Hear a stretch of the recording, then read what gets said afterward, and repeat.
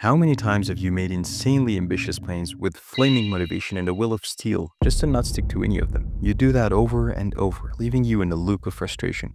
I've been reading tons of books and dissecting the dynamics of consistency from the top researchers in the field until I finally understood the formula of consistency. This formula is what allowed me to read over 100 books, consistently study for up to 12 hours a day throughout medical school, build a solid training routine, and even create this very channel with consistent uploads. And the reason this framework is so powerful is that it's neuroscience based and works in synchrony with human psychology to make consistency effortless. Starting with the first aspect, which is a hidden psychology trap that 90% of people fall into. You see, every time you set a big goal, your brain floods you with dopamine and motivation, making you feel unstoppable. The problem, however, is that this is temporary brain chemistry. Within days or weeks, those brain chemicals crash, leaving you with nothing but willpower to push through. And willpower, as we know, is a muscle that gets exhausted, making failure simply a matter of time. This is called a motivation decay cycle, and you're destined to stay stuck in it as long as you rely on motivation alone. You see, motivation is temporary, unstable, and requires energy to muster so it's unreliable for sustaining anything. A popular research article in Psychological and Cognitive Sciences states that substantial fluctuations in motivation are at the core of human nature. True consistency, however, doesn't run on motivation. It runs on something psychologists call automaticity, actions that become so ingrained they require almost zero mental energy to execute, like brushing your teeth. You don't need motivation for that, do you? When you build consistency through fostering automaticity instead of motivation, you create effortless momentum,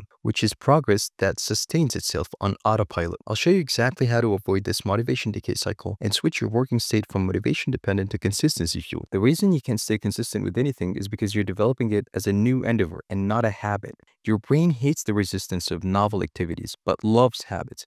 They're repetitive and simple, which is what makes consistency doing them easy. And the single best way to develop a new habit consistently is to utilize what's known as the identity habit loop. You see, when you adopt the identity of someone who does something, you're more likely to stick to actually doing it, as said by James Clear. But that's easier said than done. Simply saying I'm Batman doesn't actually make you Batman. I'm Batman.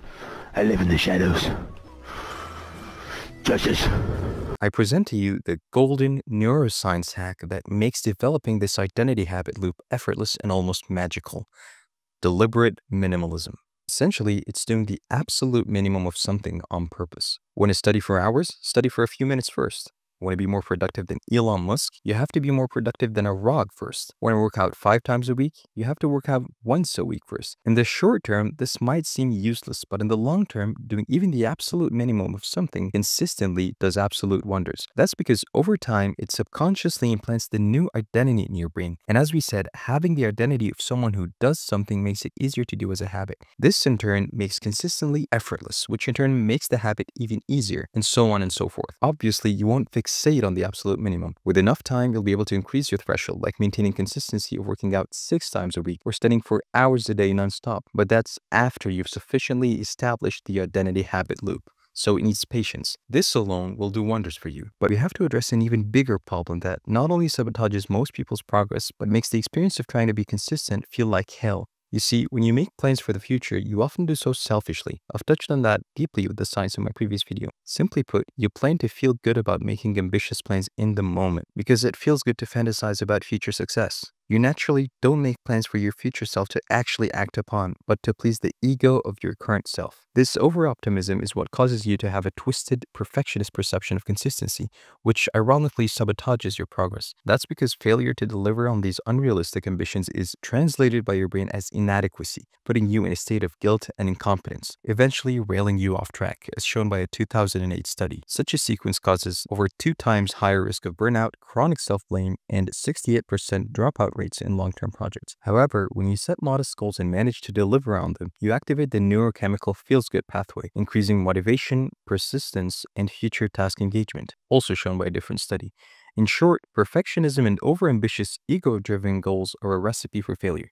This includes setting multiple goals at once as well. Bro, you're not the main character. You won't transform in a 5-minute training montage with funk music in the background. Here's exactly how to avoid all of this toxic spiral redefine consistency from perfection to simply showing up, even if you do terribly. One thing at a time, one step at a time. If you miss a day or two, or even a week or two, it's never a failure unless you make it so. Don't even bother if you can't swallow your ego and accept that at least at the beginning you'll be flawed or just outright terrible. An example of such a terrible, overambitious projection would be planning to read 50 books a year when you haven't even read five in the past 20 years.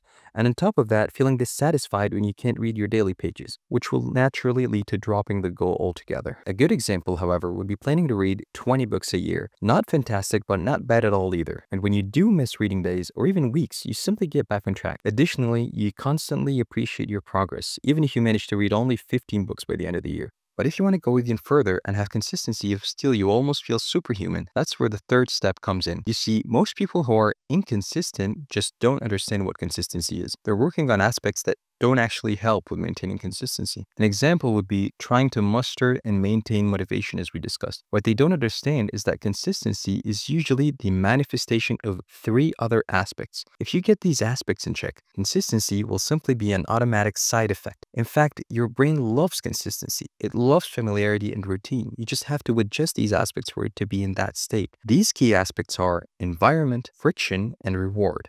Here's exactly how to adjust these areas to foster maximum consistency. For environment, you want to remove anything that makes the habit harder and plant cues everywhere that prompt you to do it. For example, if you want to get in shape and work out, put your running shoes by the door and have a couple of comfortable, practical training clothes ready in the wardrobe or somewhere around your room.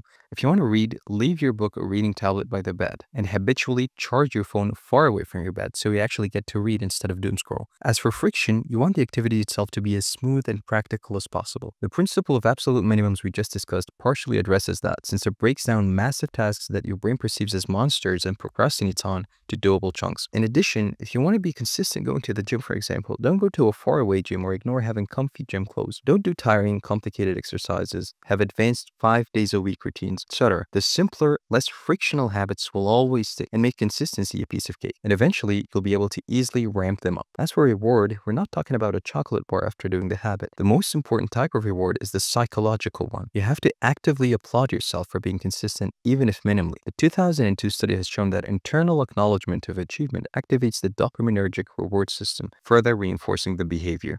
The more you systematically optimize these aspects, the more consistency becomes second nature. This is also known as creating systems instead of using willpower. Finally, as a reward for making it till the end of the video, here's one final tip to help you maintain consistency right away in the immediate short term. Make a pre-commitment. Make going back on your word harder. An example is telling your best friend to hold you accountable for the next three days, or paying them a good sum of money and not having it back unless you do what you say you will. You can tell a whole group of friends instead. Likewise, if you join my Discord from the link in the description, you can join a mini group in which you all hold each other accountable for the next week constantly checking up on each other and keeping yourselves on track. It's totally free and it's very beneficial in the short term you're more than welcome there. Also, if you want to know how to schedule your days productively using a neuroscience-based approach and actually stick to them, make sure to check out my previous video by clicking here. That was it, and I'll see you in my next video.